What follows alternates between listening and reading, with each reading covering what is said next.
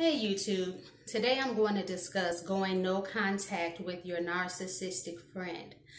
I'm just going to jump right into no contact because narcissistic friends, they know what they're doing to you. They're playing mind games with you. They're trying to control you. These people, they don't love you. They don't care about you. It's all about them the purpose you serve for them. If they can exploit you, if they can use you, that's what they want to do. So if this is the video you came to to learn tips on how to deal with them, no, you won't get it here. But what you will get is my story on how I went no contact and I have been no contact with this narcissistic friend for about two and a half to three years because for me, when you begin to see that these people have no good intentions and really are trying to destroy you once they decide, you know, that you can't be controlled. They want to destroy your character. You know, they would actually, it's sort of like a murderer, but they're not pulling a trigger on you. But they, I, I really feel that they wouldn't mind if you end up in a mental institution because you had a nervous breakdown because of the things they done to you. That's just how calculating that and, uh, and how much of a menace these people are to society. So it's no coexisting. It is how to go no contact. And this is my story. So uh, in the if you haven't watched my video about narcissistic friends, I really suggest you watch that first. I talked about a person who likes to go by a name of Princess. Uh, one, the reason I decided to go no contact with her, I used to live with the individual. And once I moved out, we didn't talk for about six months because I had just had it up to here, up to there. You, it was just, ooh, I was just done with her because she just continued to poke, poke at me constantly oh, I just don't understand why you aren't licensed. You know, she would tell me, but this individual couldn't hold down a job. And she said, even for the last, what, 10, 15 years, she was going from job to job every few months getting fired. And according to her, she didn't know why she kept getting fired, you know, just total lack of self awareness. But she knew what was best for my career. She knew what was best for my, um, what kind of car I should drive. Or if I mentioned student loans, you know, she would say, oh, you shouldn't pay those. But the thing it of it is is that friends will have suggestions but what makes it wrong and narcissistic is when these friends continue to bring up something and get mad at you if you don't do it. Like i mentioned oh this loan yeah i have to make a payment. Didn't and the narcissistic princess would say didn't i tell you already that you shouldn't pay that? Are you still even entertaining that? I already told you don't pay it. You know things like that. So i just got really sick of this poking person poking or making comments about my hair saying things like, oh, you know, um, I just really think a perm or a weave would be better for your hair because your hair, it looks unkempt, you know, and you should do this with your hair. And I told the person, you know, this is my hair. I'm going to wear my hair like I want, but thank you, and moved on. But it just continued to be a subject like, oh, and then maybe a few weeks later, oh, I just don't know why you won't perm your hair. A few weeks after that, oh, I just don't know why you won't um, put some weave in your hair. And I'd say, look, back off. And the narcissist, and then she would always be like, oh you seem so touchy you know this uh you know just playing mind games. Oh you seem so touchy. This seems like a sensitive subject. She knew it was touchy. She knew it was sensitive because i had asked her to back off. I didn't care about what she thought. And you know she would say well it seems since you're responding this way that you must think there's some truth to what i'm saying. See that's that mind game i'm telling you I was I was over um I was I won't say I was overreacting but I would get upset and I would speak my mind to her about how I felt because I'm thinking if you're a friend why would you continue to bring up such a conversation? And I told you to back off. You know you're not she had no respect of boundaries. But you know and she would try to flip it on me or the gaslighting making me think that my reality that something was wrong with the way I saw things. But of course there was nothing wrong with her because then she would make make the lie like, well, like she was just only trying to help me. She wanted to look out for my best interest. Those are the lies that the narcissists tell. So after I finally decided, look, I wanted to save up more money, but after staying with her for a few months, I could not do it. So I left. Six months we didn't talk. She ended up calling me, and at the time I used to celebrate um, holidays. And so she called me and invited me for Thanksgiving. So I went over and then, you know, she told me, Oh, I was upset with you. And I was like, oh, okay, whatever. But after that, she would stop making comments about my hair. But I noticed she would still make comments about the student loan or um, my car you know, she would still do that because I guess she figured if she said something else about my hair, I definitely wouldn't entertain her. And so for a while, I, you know, I would just um, defend myself. Oh, well, I'm keeping this car because this, this, this, you know, explaining to her when really it was none of her business. Or she would tell me, oh, I just don't know what you spend your money on, you know. And I told her, it's none of your business what I spend my money on. Just a very controlling individual. So after after this time went on you know uh the final straw for me was at her birthday party you know we got we got there and um everyone was just sitting down and on their phones and really not engaging. And so I was at the opposite end of the table with her. And so, like I said, everyone on my end, um, even if they knew each other, they were on their phone. I didn't know them, but you know, everyone was doing their own thing. She comes over and says, Oh, this is, and she used to call me her cousin. She's like, Oh, this is my cousin Samyra. Forgive her. She's antisocial. You know, just, um, bringing, you know, that negative attention, you know, when everyone else was doing the same thing, but I was her target. But so if I, she would have loved for me to, to react um, and say, oh, well, what do you mean? And blah, blah, blah, blah, blah. And then the people there, not knowing our history that she's constantly poking, would assume that I was the crazy person. So I didn't react. I just noted it. Mm, okay, even at our party, she can't be happy you know. so, you know, that was it. But so a- after that, I noticed um, I did contact her to get um, some pans and things that I had left at her house, and she didn't call me back. And the holidays passed. I didn't. I had reached out to her. Nothing. So I, I had decided, you know what? She actually sucks. I really don't want to be around her. So good riddance. She never has to call back. As soon as I said that in my head, she ends up uh, calling. And so I was ignoring her. And so then she had a fake, some other number that she called me from and I picked up. And she's like, um, I'm a princess. I'm a princess. What are you doing? What are you doing? You have to talk to me. Really, this is what she was doing. I'm a princess. I'm a princess. This is princess. You got to talk to me. I'm a princess. And so I said, oh, can't talk now. She's like, but, but, but, but, but I'm a princess. literally. And so I hung up maybe a few days later i'm leaving out my house.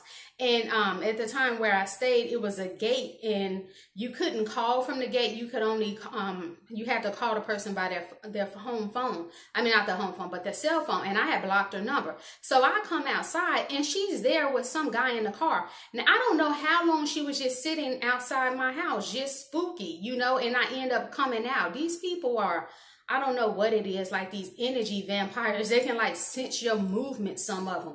So she um had a bag, a Christmas bag, and trying to give it to me. And I said, no, no, thank you. And I just kept smiling and walking in my car. And she kept trying to talk. I just said, no, no, thank you. Can't accept your gift. No, no, thank you. I get in my car unlock it. She hurries up and unlocks the um, back door um trying to open the back door. So i hurried up and locked it so she couldn't give me her gift. So then i'm trying to pull off and she won't let me pull off because she's blocking on the side of my car and doing jumping jacks. Hey hey hey. You know so i couldn't move and i'm not gonna lie even though i was mad at her and no contact i started laughing because i'm just thinking of all the theatrics that she's doing because she's trying to show me how good she is so she could will um get me to come back in so she could start the abuse all over. And so I decided I wasn't going to take it because one thing with a narcissist you discard them or you're standing up for yourself, if you can't go back to them, they're just going to treat you even worse because they think they're better than you. You're a peon, you're their project, you're stupid, you're naive, you deserve this abuse. And now you, of all the people, have the nerve not to do what the princess says. You're going against the princess. What?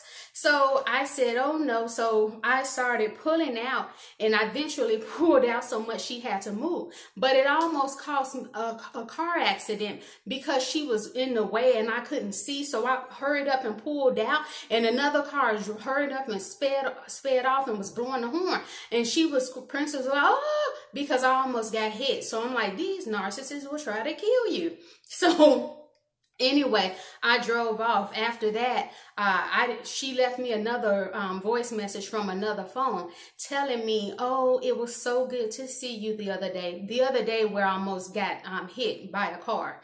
Uh, oh, it was so good to see you the other day, and you said that we should sit down and talk and meet up. So just call me back so I'll know when you want to meet. So this is another thing about the gaslighting, trying to make me question my reality. I I said nothing of the sort to her about meeting up. So she thinks that I'm that crazy that I'm going to believe that that's what I said because in her mind, she feels that she has so much control over me that I was going to fall for that hypnosis. Yes, Samyra, do as I say. But no, I didn't call her back. So what I did notice that when, when um to successfully go no contact, I blocked her on all social media. I made sure I deleted her phone number and any other phone number she called me from. So because of that, I never heard from her again. And when you go no contact, it's to me, it's best to stay no contact because sometimes if people are married, they have kids, they can't successfully do it. You're they're going to have to engage with the narcissist, and then that's when I feel that you develop tactics on how to deal with the narcissist, how to stay calm and respond versus react. But a friend, if you, you don't have any kids with these people, uh, you have no ties, not saying that it's going to be easy because you may miss the person even if they were abusive. There were some things you liked about the individual. You may miss the individual, but you have nothing uh, connecting you. Uh, with that person. If you work with the person, then possibly you may need some tips. Um, but again, I would say if the if you have a raging narcissist at work uh, who happens to be a friend and just making it hell if, if possible i would say to leave that job or uh, not to engage with that person if you don't have to. But i once worked in the same office in the same office, not the whole building, but the one little small office with a narcissist. And I decided, no, thank you. I was not going to live my life like that. I did like that job, but not that much because uh, it seemed that the boss probably was a narcissist as well. So, uh, no, I, I didn't want to. Uh, one thing about leaving narcissists, you will notice flying monkeys. Flying monkeys is just a term for people who take the narcissist side. They'll call you and then they'll say things to you like, oh, you know, the narcissist is very hurt. Why did you do that? You and the narcissist seem like very um, good friends then and you may tell your story and the fly to the flying monkey and i mean you're just pouring out your heart over explaining uh, just defending yourself and the flying monkey will say things like well you know, it really doesn't seem that bad, and maybe you should just forgive because God forgave, or you know, to be spiritually enlightened, you know, to have your chakras clean, you you must get past this. You know, they'll say all the things, but one thing I noticed with flying monkeys, they never start saying how they went to the narcissist and called the narcissist out about their bad behavior, about being entitled and using people and these smear campaigns where they try to make you seem like the scum of the earth to other people who know you, mutual friends or your family, or they try to make, um, they tell people that you're crazy, you're unstable, you're a liar, you're a bitch, and all these other things. And they try to make your life hell, get you fired, or do all types of crazy things to you. If you have kids, they'll try, maybe try to poison your kids against you. These people are evil and they wish death upon you, not by a loaded gun, but by their tongue. They kill and destroy. So these are the reasons why um, I go uh, no no contact. Like um, the princess had a sister who called me and she went on and on about how she thought we were the best of friends because we were because with the narcissist sometimes with their with their targets what they'll do is um, do their abuse in private. And so around the sister it seemed like me and the narcissist were best friends because we would laugh and make up um, crazy songs and things like that and have a good time. But when the sister left, the narcissist would go into her ways. They sometimes they like to do things in private so they could keep up that facade of being this really great special person that they want to be in front of other people. But when you're their target, you get to see behind behind that mask that they portray to the rest of the world and get to see them really for that that wickedness that evil that lies beneath. And i say that even though it's narcissism is classified as a mental illness you, these people are totally in control of what they're doing. They know what they're doing. And i say that because they choose targets people that they feel that they can get away with treating like crap. They do.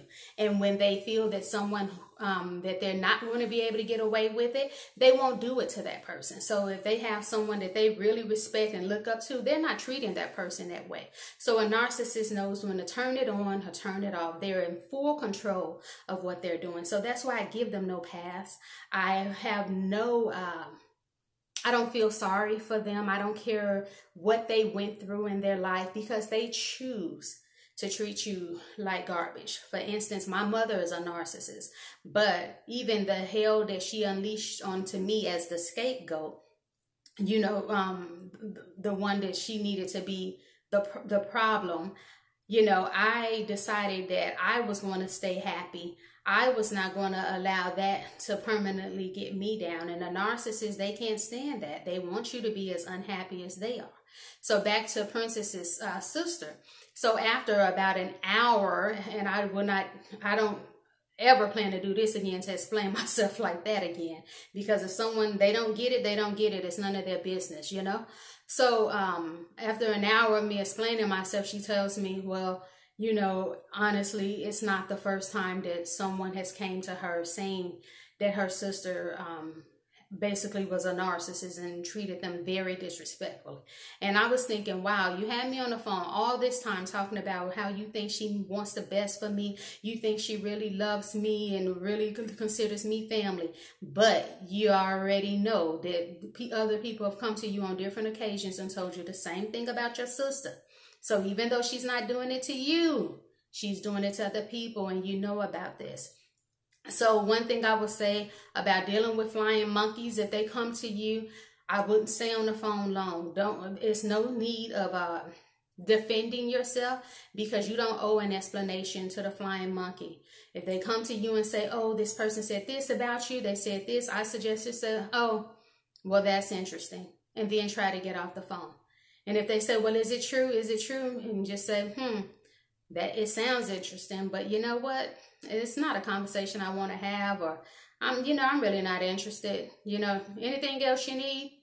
And then, you know, get off, get off the phone with the person save yourself because sometimes the flying i think the flying monkey they know that something is wrong, but these people like to keep up gossip and they're minions of the uh, narcissist. So they just want to help further put abuse on you or to make you lose control and to um, cause to, they want to see you suffering in pain too. So they're uh, doing the work on behalf of the narcissist. So just save yourself some time and love yourself enough to just say, hey, that's unfortunate they're saying that. Hmm, you know? And some um, flying monkeys you know i even wonder you know they they won't call the narcissist out on anything but they they feel that it's okay to come to you and tell you you're the one who should do better. You should apologize. You should be the bigger person. You you you you. And i one thing i would also say to a flying monkey hey have you had this conversation with the narcissist? If they say no well why not you know and then once i get the response well how come you thought it was okay to bring it to me? And then i would say to the person well you know what? You need to you know the narcissist you go and um, challenge that person the way you're challenging me. And once you've successfully successfully done that then try to give me a call. So all right. Well thank you. And Again, uh, thanks for watching. Tell Samyra. If you have any questions on this topic, feel free to leave it in the uh, description box and I'll get back to you. Thank you.